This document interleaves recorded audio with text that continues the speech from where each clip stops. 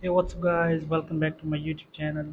So guys in this video I'm going to show you how to fix iPhone 15 15 Pro and 15 Pro Max Wi-Fi issues with UniFi UDR so guys let's get started. This video without wasting any time so guys first of all turn off Bluetooth on your iPhone 15 so so guys I have I don't have iPhone 15 so I'm uh, showing you on my iPhone XS so simply go to settings tap on Bluetooth and turn this off and the next solution is restart your Wi-Fi router and restart your iPhone Wi-Fi and check out of settings. And then after this the next solution is restart your iPhone 15 Pro Max. So for the restart iPhone tap on power button and volume up at the same time. So drag the slider to the right to power off your iPhone.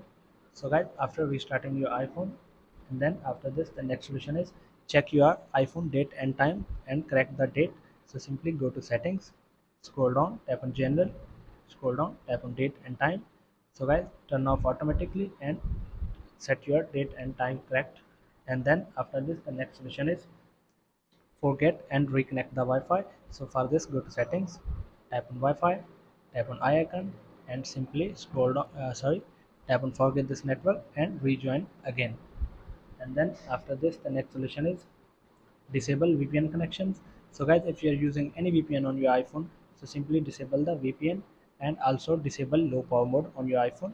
So go to control center and turn off low power mode. And then after this the next solution is reset your network settings.